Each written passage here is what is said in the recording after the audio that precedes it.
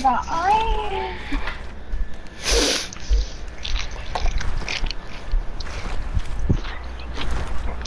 it, Annie. You know you're getting caught.